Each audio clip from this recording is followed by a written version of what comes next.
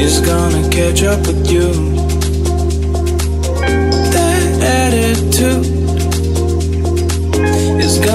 catch up with you.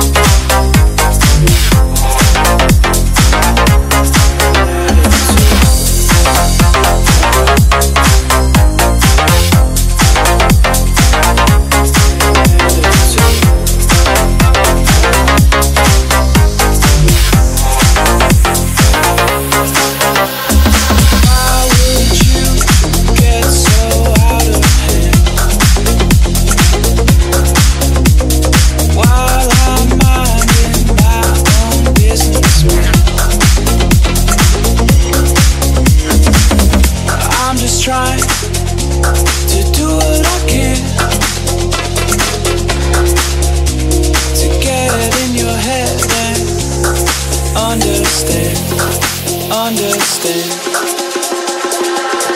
that attitude is gonna catch up with you. That attitude is gonna catch up with you. That attitude is gonna catch up with you.